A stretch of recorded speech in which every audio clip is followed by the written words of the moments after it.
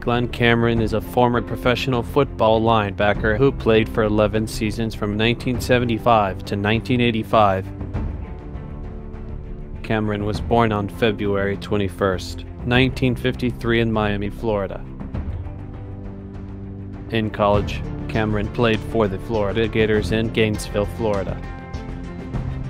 In 1974, he was named first team All-Sec and was named third team All-American.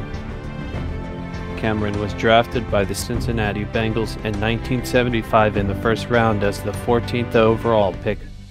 Over 11 seasons, Cameron played for the Cincinnati Bengals. He was inducted into the University of Florida Athletic Hall of Fame